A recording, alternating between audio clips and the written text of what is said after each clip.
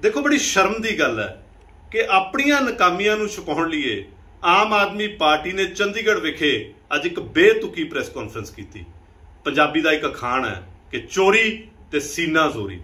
ਉਹੀ ਕੁਝ ਆਮ ਆਦਮੀ ਪਾਰਟੀ ਕਰ ਰਹੀ ਮੇਰਾ ਭਗਵੰਤ ਮਾਨ ਸਾਹਿਬ ਨੂੰ ਸਿੱਧਾ ਸਵਾਲ ਹੈ, ਆਮ ਆਦਮੀ ਪਾਰਟੀ ਨੂੰ ਸਵਾਲ ਹੈ ਤੇ ਜਿਹੜੇ ਉੱਥੇ ਬੁਲਾਰੇ, ਕਿਉਂਕਿ ਦੁੱਖ ਇਸ ਗੱਲ ਦਾ ਹੈ ਕਿ ਉਸ ਨੌਜਵਾਨ ਬੁਲਾਰੇ ਨੇ ਪ੍ਰੈਸ ਕਾਨਫਰੰਸ ਕੀਤੀ ਜਿਹੜਾ ਖੁਦ ਸਟੂਡੈਂਟ ਪੋਲਿਟਿਕਸ ਚੋਂ ਨਿਕਲਿਆ ਤੇ ਉਹਨੂੰ ਦਰਦ ਨਹੀਂ ਆਇਆ ਕਿ ਉਹਦੀ ਸਰਕਾਰ ਦੇ ਫੇਲਿਅਰ ਨੇ ਪੰਜਾਬ ਦਾ ਇੱਕ ਹੀਰਾ, ਇੱਕ ਐਡਾ ਵੱਡਾ ਸਟਾਰ ਗਵਾ ਦਿੱਤਾ ਅੱਜ ਆਮ ਆਦਮੀ ਪਾਰਟੀ ਇਹ ਦੱਸੇ ਕਿ ਕਿਹਨੇ ਬੇਤੁਕੀ ਸਿਆਸਤ ਕੀਤੀ? ਕਿਹੜਾ ਪ੍ਰੋਵੀਜ਼ਨ ਆਫ ਲਾਅ ਕਹਿੰਦਾ ਹੈ ਕਿ ਤੁਸੀਂ ਪਹਿਲਾਂ ਕਿਸੇ ਦੀ ਸਿਕਿਉਰਿਟੀ ਘਟਾਓ ਤੇ ਫਿਰ ਉਹਨੂੰ ਅਖਬਾਰਾਂ 'ਚ ਛਾਪੋ? ਮੈਂ ਚੈਲੰਜ ਕਰਦਾ ਆਮ ਆਦਮੀ ਪਾਰਟੀ ਨੂੰ ਕਿ ਨਾਮ ਜਨਤਕ ਕਰਨ।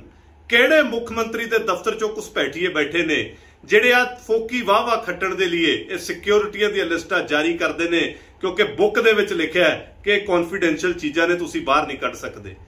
ਕਿਹਦੀ ਸਰਕਾਰ ਦੀ ਮਾੜੀ ਕਾਰਗੁਜ਼ਾਰੀ ਸੀ ਕਿ ਇਨਪੁਟ ਆਉਣ ਤੋਂ ਬਾਅਦ ਵੀ ਸਿੱਧੂ ਮੂਸੇਵਾਲਾ ਸਾਹਿਬ ਦਾ ਕਤਲ ਹੋ ਗਿਆ?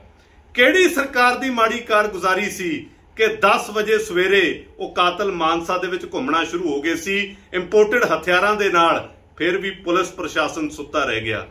ਕਿਹਦੀ ਸਰਕਾਰ ਦੀ ਮਾੜੀ ਕਾਰਗੁਜ਼ਾਰੀ ਹੈ ਕਿ ਉਹ ਸਰਕਾਰ ਡਰਦੀ ਮਾਰੀ ਸਿੱਧੂ ਮੂਸੇਵਾਲਾ ਸਾਹਿਬ ਦੇ ਸੰਸਕਾਰ ਤੇ ਵੀ ਨਹੀਂ ਜਾ ਸਕੀ। ਸੋ ਸਿੱਧੇ ਸਵਾਲ ਆਮ ਆਦਮੀ ਪਾਰਟੀ ਦੀ ਸਰਕਾਰ ਤੇ ਨੇ। ਸੋ ਇਧਰ ਉਧਰ ਕੀ ਬਾਤ ਨਾ ਕਰ, ਕਾਫਲਾ ਕਿਉਂ ਲੁੱਟਾ, ਇਹ ਪਤਾ।